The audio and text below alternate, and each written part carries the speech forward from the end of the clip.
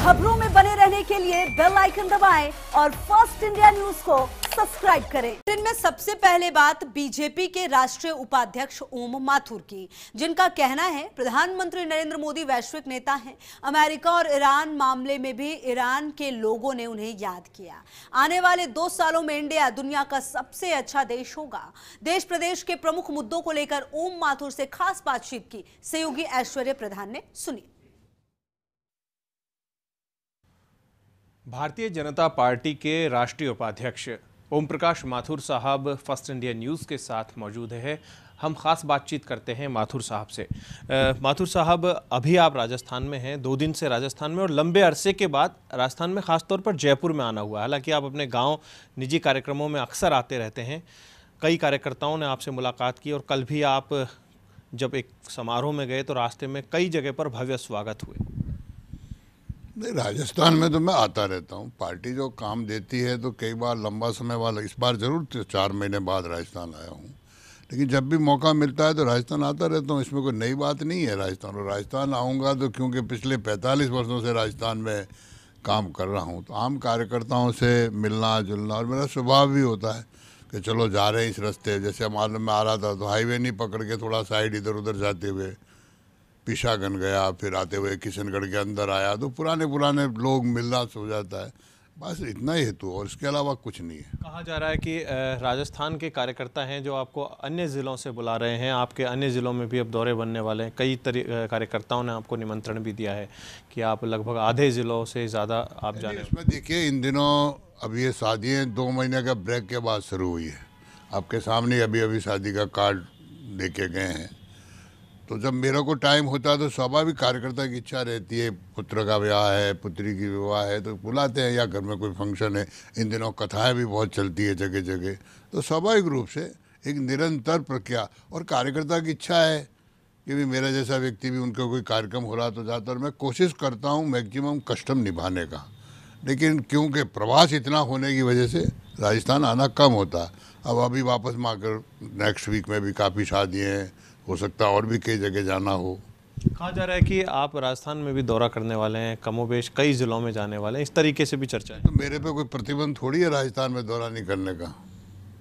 और मेरी तो इच्छा रहती है मैं दौरा करता रहता हूँ। जैसे कार्य आज्ञा रहती है और जब किसी कार्यक्रम में जाता हूँ तो एक तरह से दौरा होता है मैं खाली एक कार्यक्रम निमित्त नहीं जाता हूँ। क्योंकि राजस्थान से लगभग पिछले 20 वर्षों से बाहर के दायित्व मेरे पास रहे हैं। तो स्वाभाविक ऐसे कई कार्यकर्ता हूँ जिनसे मैं सालों नहीं मिल पाता हूँ। तो मैं प्लानिंग करके दो दिन एक्स्ट्रा रखा करके भी वहाँ मिलता हुआ आता हूँ तो एक कार्यक्रम के नाते नहीं। और देखिए, ये हमारी पार्टी स्नेह और संवाद से आगे बढ़ी है।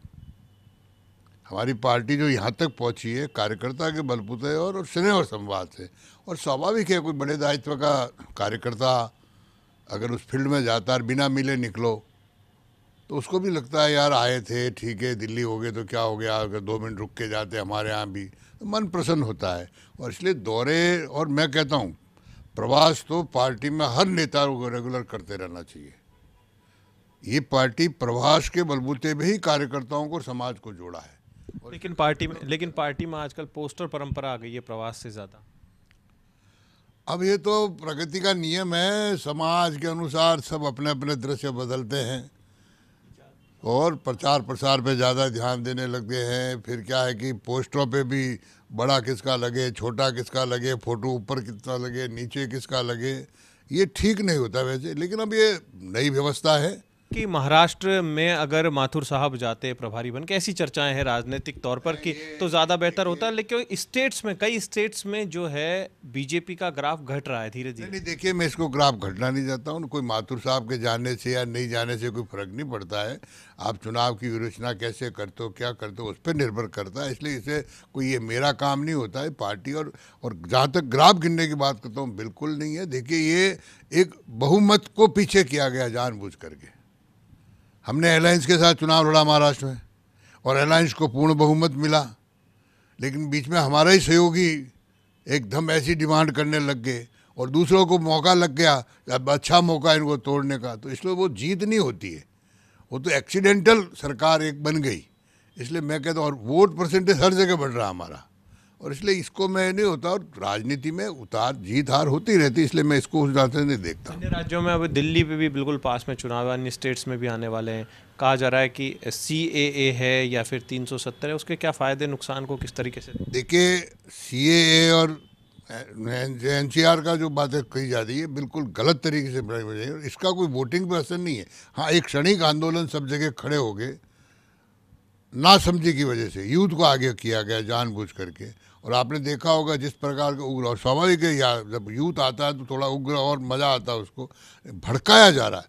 हमारे विरोधियों को, हमारे खिलाफ कहने को कुछ नहीं मिल रहा है। कोई विषय पे वो हमसे डिबेट करने के लिए तैयार नहीं है। ये सारे बिल उनके रहते हुए हाउस में पास हुए हैं। और ये हम पहली बार नहीं कर रहे हैं। रेगुलर सी रेगुलर होने वाली चीज़ है। उसमें दो कॉलम नए अमेंडमेंट किया, वो नया नहीं है, और हर दस साल में मतगणना होती है। आज प्रधानमंत्री की जितनी भी जन उपयोगी योजनाएँ जो लागू की है, चाहे वो उज्ज्वला हो, चाहे धन किसान हो, चाहे बैंक के खाते हो, वो सारे सारे 2011 की जनगणना अनुसार हो रहे हैं। तो जनगणना हर दस साल में होती है, इसलिए एक बार भड़काया गया है। और मुझे बताइए कि हमारे पड़ोसी देशों से जो अल्पसंख्यक परेशान होके, दुखी होकर के, उनको प्रताड़ित करके, वो कहाँ जाएँगे भारत के अलावा? और ये कोई पहली बार नहीं हो रहा है।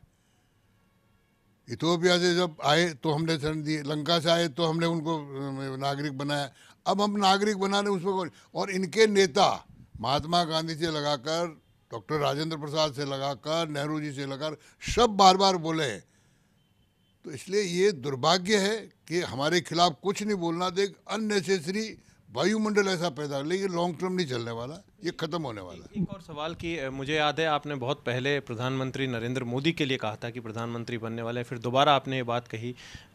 भविष्य किस तरीके से देखते हैं? क्योंकि बार बार मीडिया जो है एक बात और कह रहा है कि राज्यों में बीजेपी की सरकारें अब देखिए उससे कुछ फ़र्क नहीं पड़ने वाला है। चौबीस में भी नरेंद्र मोदी जी जीतेंगे उससे आगे भी नरेंद्र मोदी जी जीतेंगे।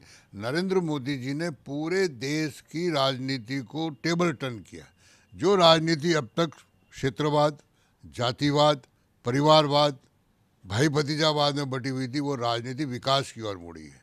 और आम मतदाता को महसूस हुआ है कि पहली बार देश में ऐसा प्रधानमंत्री आया है जो मेरे गाँव की, मेरे मोहल्ले की, मेरे घर की, मेरे गाँव गाँव की चिंता कर रहा है। और चिंता की है?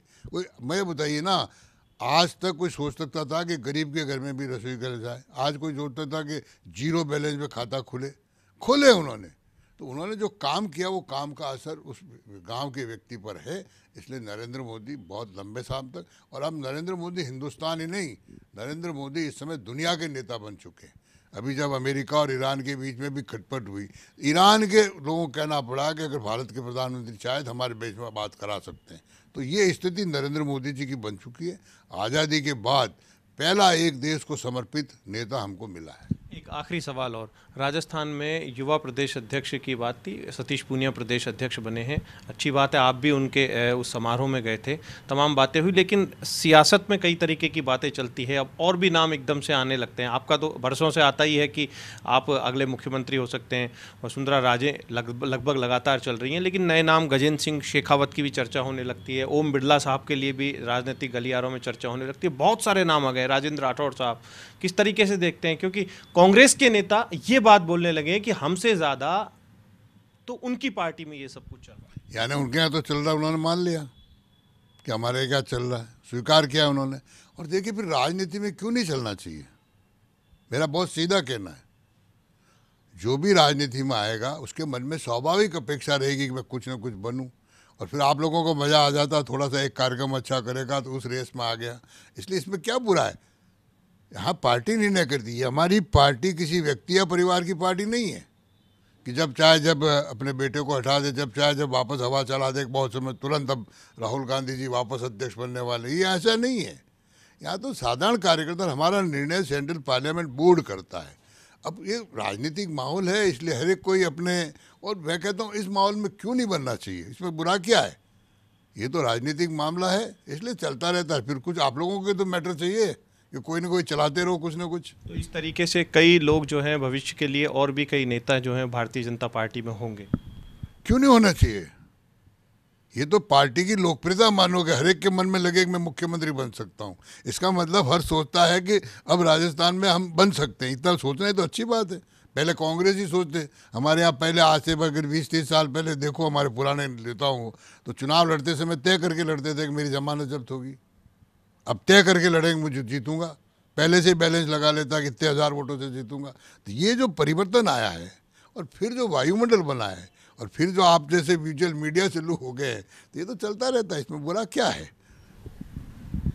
फ़र्स्ट इंडिया न्यूज़ से खास बातचीत की है ओम प्रकाश माथुर साहब ने। राजस्थान की नब्ज को बखूबी जानते हैं, राजस्थान की राजनीति पर पकड़ रखते हैं और बखूबी ये भी जानते हैं कि राजस्थान की राजनीति में आगामी दिनों में क्या चलने वाला है और फ़िलहाल क्या चल रहा है। अन्य स्टेट्स की ज़िम्मेदारी लगातार संभालते रहे हैं। कैमरा पर्सन सुरेंद्र के साथ Aishwarya Pradhan, first India news, Jaipur. रुक रहे